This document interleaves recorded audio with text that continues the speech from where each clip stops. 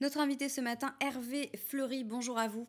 Bonjour. Vous êtes virologue, professeur émérite à l'Université de Bordeaux et au CNRS et vous avez signé une tribune dans Sud-Ouest la semaine dernière où vous expliquez pourquoi vous vous ferez vacciner contre le Covid-19 dès que ce sera possible. Alors, il y a beaucoup d'inquiétudes, beaucoup euh, de gens qui sont sceptiques face au vaccin, même des personnalités publiques et politiques qui, qui, qui prennent la parole. Est-ce que vous les comprenez aujourd'hui? L'inquiétude, elle vient de deux événements majeurs qu'on a connus depuis 20 ans. Euh, c'est d'abord le lien qui a été établi, euh, mais qui n'était pas, qui n'était pas vrai, qui était faux, entre la sclérose en plaques et la vaccination hépatite B. Et puis deuxièmement, effectivement, euh, la campagne vaccinale H1N1 en 2009, qui a été mal expliquée, alors qu'elle avait, à mon avis, toute sa légitimité.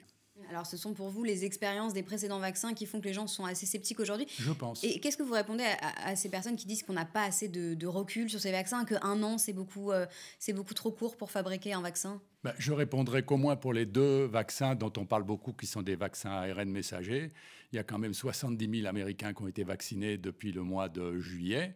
Et il n'y a pas eu beaucoup d'effets secondaires. Enfin, il y a eu des effets secondaires, mais bénins, et des effets secondaires graves, il n'y en a eu quasiment pas. Et donc, je pense qu'au bout d'un an euh, ou de quelques mois, euh, devant l'urgence de la situation sanitaire, euh, moi, je, personnellement, je n'hésiterai pas à vacciner avec des vaccins qui ont déjà été expérimentés sur des dizaines de milliers de personnes. Les, vaccins ARN, justement, c'est la première fois qu'on les utilise à si grande échelle. Euh, qu'est-ce que ça change par rapport aux vaccins qu'on connaît, par exemple, contre la grippe? Est-ce qu'on sait qu'ils sont sans danger? Ben, écoutez, comme je viens de le dire, jusqu'à présent, pour 70 000 patients aux États-Unis, il n'y a pas eu d'effets secondaires graves.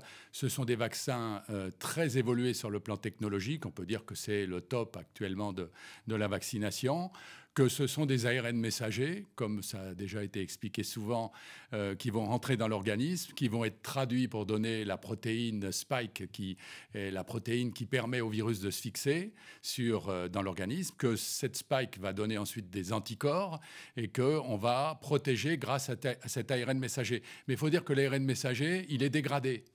Euh, il ne va pas rester dans la cellule. Et, alors que vous avez des vecteurs viraux avec des ADN qui peuvent, eux, rester dans une cellule. Donc je trouve que sur le plan théorique, ce vaccin, il est très séduisant.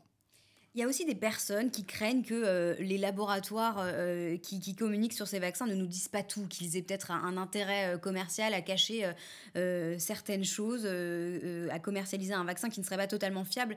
Qu'est-ce que vous leur répondez? Bah moi, j'y crois pas trop, parce qu'ils sont tellement encadrés, ils sont obligés de donner leurs résultats aux États-Unis, à la presse dans un premier temps, ensuite à la FDA. Euh, il y a des expérimentations qui ont été menées, publiées dans des journaux il y a des comités de lecture. Je ne crois pas trop euh, à cet aspect des choses. Je crois qu'ils sont obligés d'être sérieux. Au Royaume-Uni, on a beaucoup parlé du premier jour de la, campagne de vaccination la semaine dernière et on a rapidement dit qu'il y avait eu euh, deux, cas de réaction allergique. Euh, c'est pas inquiétant selon vous Il y en aura, il y en aura forcément. Euh, quand vous vaccinez contre la grippe, vous savez bien qu'il y a des gens qui ont des effets secondaires. Il y a des effets secondaires. Par exemple, le Pfizer, on pense qu'il y a 2% de sujets qui ont des effets secondaires.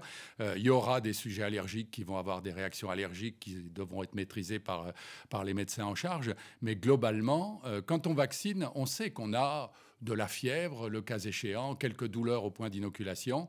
Ça va être le cas avec le vaccin Covid, mais c'est pas ça qui doit empêcher de protéger contre la maladie. Je pense que c'est plus dangereux d'avoir la maladie terminée en réanimation que d'avoir un effet secondaire du vaccin. Et, certains ont peur d'effets secondaires qu'on ne connaîtrait pas encore à long terme. Est-ce que c'est possible ça? Ça s'est déjà vu? Ben, ça ne s'est pas encore vu. Euh, je dirais qu'avec les ADN, on pourrait se poser la question. Et comme je vous le disais tout à l'heure, avec les ARN messagers, probablement pas, parce que quand ils ont fait leur métier de faire synthétiser la protéine du spike, ils sont dégradés.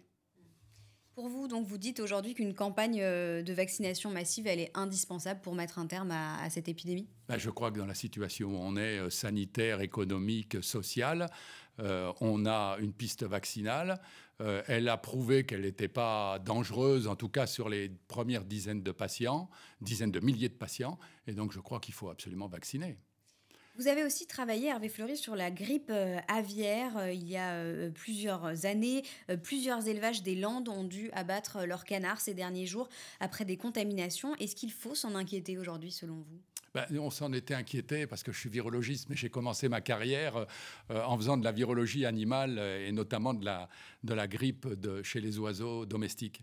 Oui, moi je m'en étais inquiété. On avait eu des réunions dans les Landes et moi j'avais proposé, et je le repropose toujours d'ailleurs, de faire venir un expert du ministère de l'Agriculture des États-Unis qui était spécialisé dans la vaccination des animaux domestiques, des oiseaux domestiques. Et effectivement, je pense que c'est une solution qu'il faudrait réétudier parce que euh, on disait que euh, en 2016 c'était du H5N8 et maintenant finalement c'est toujours le même virus qui revient et la question qui se pose c'est que se serait-il passé si on avait vacciné euh, des poulets par dizaines de milliers peut-être qu'on les aurait protégés. Je pense qu'il faut réouvrir la discussion sur les vaccins aviaires.